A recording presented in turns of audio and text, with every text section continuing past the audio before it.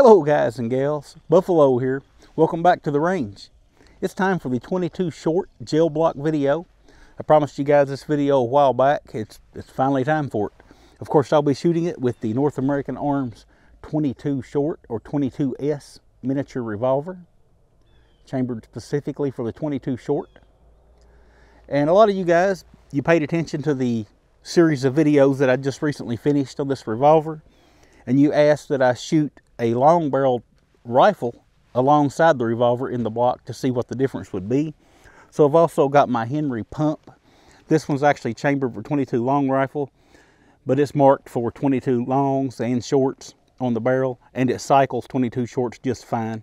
So I'll go ahead and shoot the block with this rifle too. It has a 20 inch barrel. The ammunition that I'm using will start out with the hollow point. It's a 27 grain hollow point from CCI. It is rated at 1105 feet per second. Of course, we know we know we're not getting that out of the tiny revolver, but we'll see how close we're getting to that out of the rifle as well.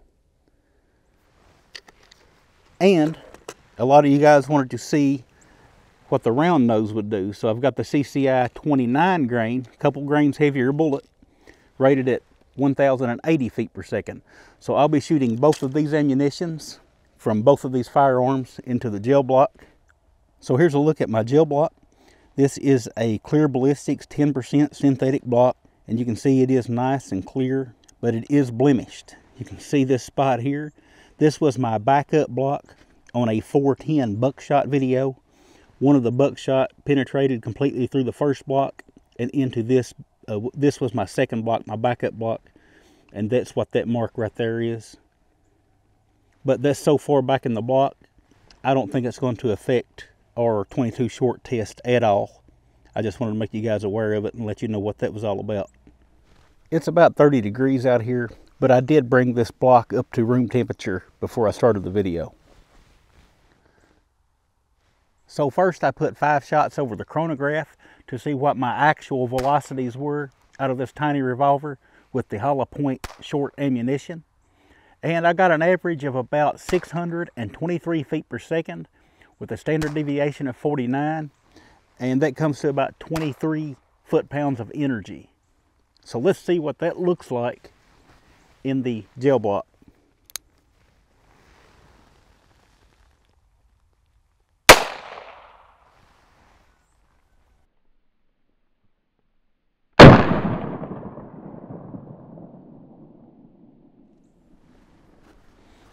Okay, so here's our entry point. And you can see, or well I can see, I don't know how well it's showing on this camera, but there's a bunch of unburned powder flakes all over the front of this block. It looks like someone took some black pepper and peppered their biscuit and gravy there. If we come around to the side, whoa, that's pretty impressive. Get my tape measure out and measure that. Comes to about seven inches of penetration, which is a little more than I was guessing. And the bullet stopped tail forward. Zero expansion in the hollow point, which we kind of expected at such a low velocity, or I kind of expected. But that penetration is pretty decent. So now it's time for the round nose. The round nose is a 29 grain bullet, so two grains heavier than the hollow point and advertised at 1,080 feet per second or 25 feet per second slower than the hollow point. So I was a little surprised to see these chronograph results. I averaged 780 feet per second with a standard deviation of 21 and that comes to 39 foot-pounds of energy. I did get a reading of 769 feet per second two times back to back. The same reading back to back is usually indicative of a error or a non-pickup.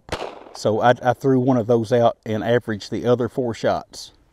So on average, that round nose, or at least the lot that I'm shooting, is about 160 feet per second faster than the lighter weight hollow point. That, uh, that surprised me.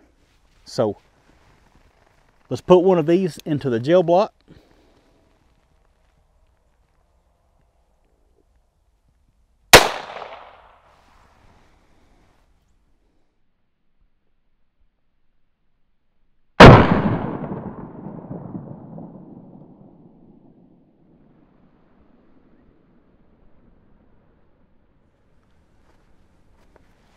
So here's our entry.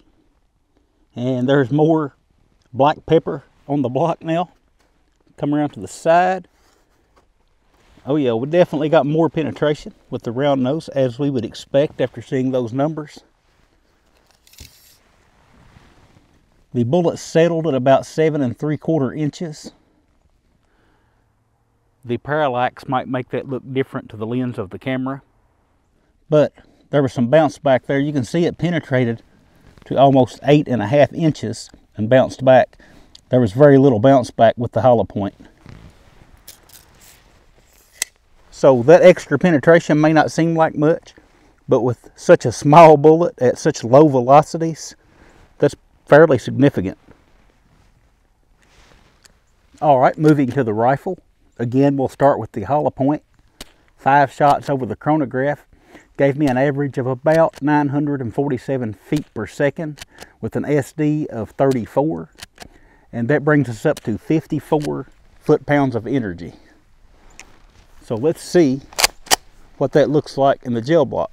I bet we get some expansion this time.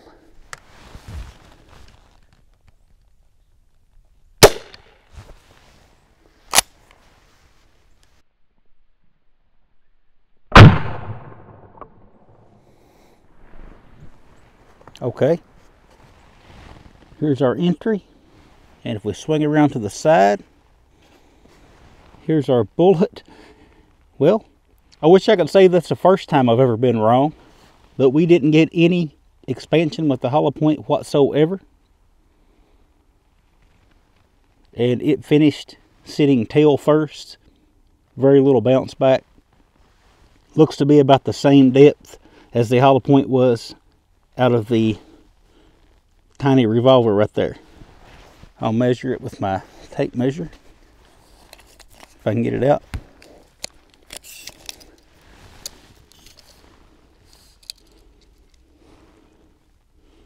Yep, about seven inches.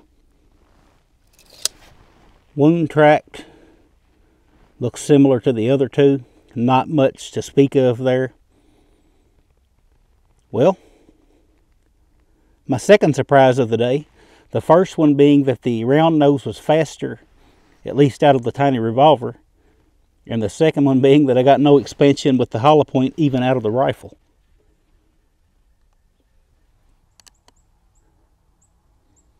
The round nose was the same story out of the rifle.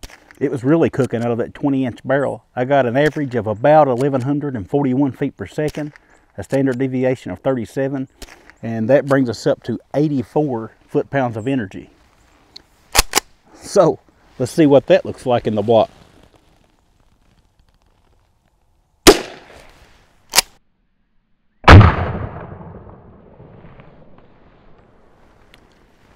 All right, here's our entry.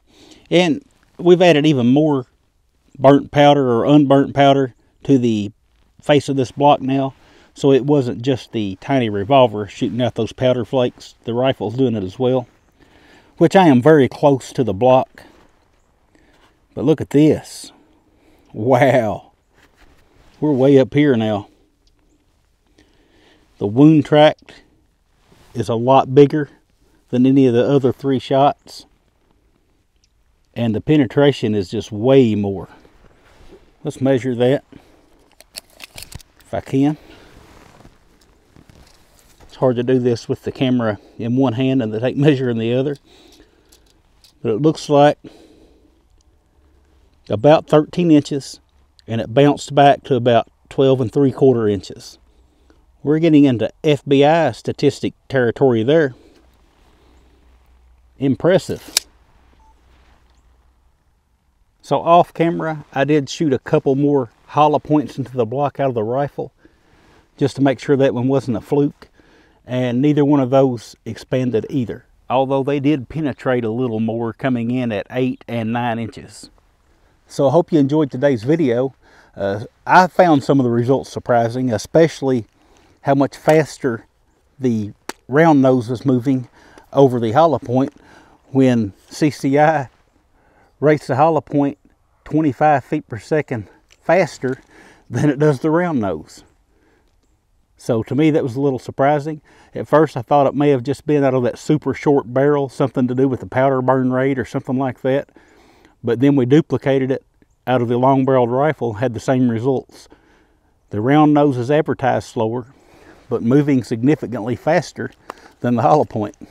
But I guess that's about all I got for you guys today. Uh, hope you enjoyed it. Remember, if anybody asks you to give up a little of your freedom for the greater good, that freedom is the greater good. And I'll talk with y'all again soon.